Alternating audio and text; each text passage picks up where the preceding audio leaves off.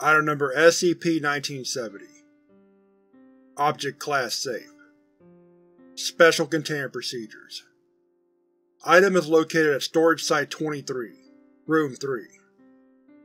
Although SCP-1970 requires minimal security, it must be isolated from other anomalous objects. Item is to be under constant audio supervision for the purpose of recording its vocalizations, and the item should be visually inspected at least two times daily. Objects classified as SCP-1970-1, 1970-2, and 1970-3 are to be kept in sealed plastic bags in separately locked containers within Room 3. Description: SCP-1970 is a television set similar to a Zenith Model L092Y. Labels on its back indicate that the device was manufactured in 1979.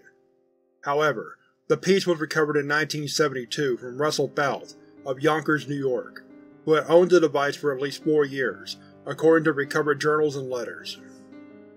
SCP-1970 was able to function as a normal analog television, and can still receive analog signals, although it is no longer capable of displaying an image, following Test 1970-AE-34. Conducted on March 1, 2009, Test AE-34 required the opening of SCP-1970's outer casing, which produced distressed vocalizations from members of SCP-1970-1, 2, and 3, all of whom appeared to asphyxiate shortly afterwards. Their remains are now stored separately from the item. No mechanical moving parts were discovered within the casing, and the test was aborted before the separately enclosed speaker casing was opened. SCP-1970 does not require any power source, and will begin functioning as soon as it is switched on. When turned on, an internal light would illuminate a tightly packed group of thousands of humanoid figures pressed against a screen, ranging from 1 to 1.5 mm in height. The skin color of the humanoids were distinctly blue, red, or green, and they were capable of rapid movement, climbing across each other, or disappearing deeper into the item for the purpose of displaying whatever broadcast image SCP-1970 was tuned to receive. A fourth group of white and gray-skinned humanoids can occasionally be observed within the speaker housing, and their vocalizations mimic the audio broadcast. The number and designation of these humanoids are as follows.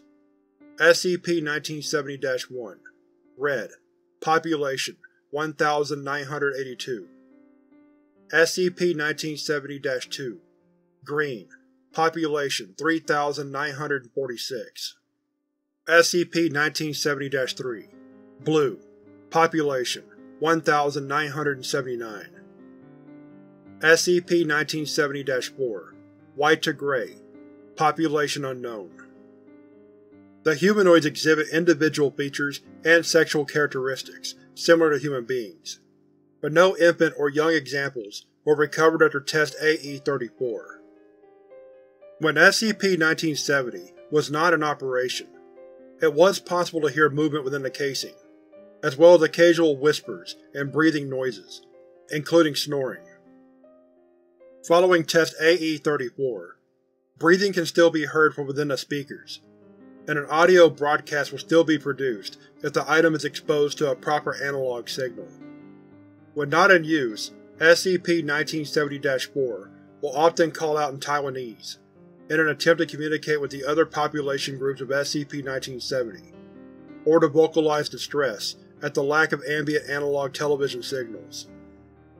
Addendum Russell Bouth was a diagnosed schizophrenic and committed suicide in 1972.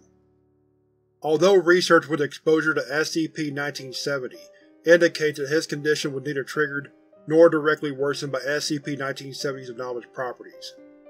However, due to his condition, he was living alone, and unable to convince any family members or caretakers that his television set was quote, filled with tiny, writhing men.